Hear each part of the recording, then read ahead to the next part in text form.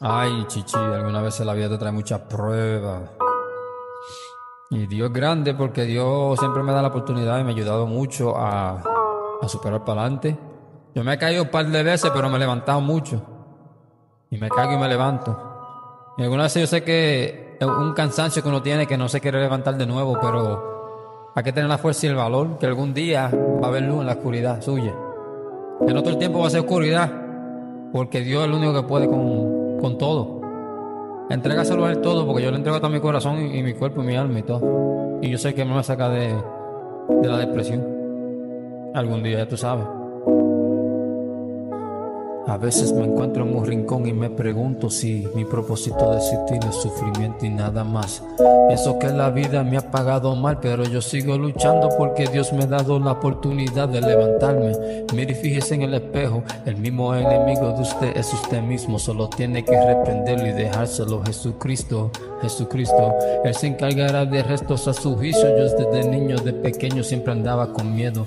El enemigo aprovechándose de mis emociones por dentro cada minuto ilustraciones del maligno. Y asustado yo estaba debajo de mi frisa hasta que dormía con pesadilla. Pero un ángel siempre a mi lado, Dios lo tuvo conmigo. Y por eso yo sí creo en Jesucristo, Jesucristo. Él se sacrifició por nuestro pecado y lloró mucha sangre. Nosotros apenas nos recordamos de eso. Y cuando siempre oramos es porque estamos clavados en el mismo rincón donde Él nos advirtió algún día que judías a sí mismo lo negaremos a Él como lo negó.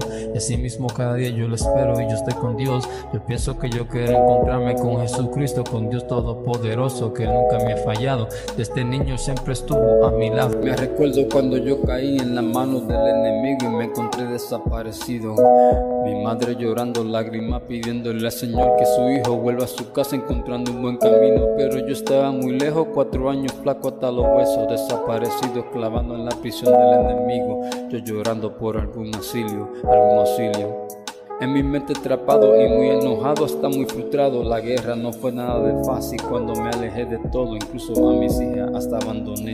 Eso fue lo que más me dolió y siempre le pedí a Dios de corazón por su perdón. Arrepentido viviendo cada día con este vacío por lo que ha hecho, muriéndome por dentro poco a poco, lentamente. No sé madre cómo ni verte, solo quiero abrazarte fuertemente. Eso es lo que mi cabeza decía antes de volver a encontrar un camino donde pude una vez más abrazar a mi mamá, estar junto con mis hermanos y mi papá. Ahora soy un hombre nuevo de verdad. Gracias a la voluntad de Dios volví a renacer y mucho de lo malo que tenía por dentro se me alivió. Gracias a Dios, gracias a Dios se me alivió. Gracias a Dios se me alivió. Porque Dios ve lo que está en tu corazón. Él se fija mucho en lo que está en tu corazón. Dios siempre ve lo que está por dentro, no lo que está por fuera. Lo que tú representas, es una cosa de, la vida social, del mundo. Pero por dentro, cuando Dios ve tu corazón que está limpio, Dios te va a ayudar. Y siempre se queda contigo, es lo tuyo. Nunca se despacha de ti. Uno es que se, se aleja de él. Pero ya tú sabes.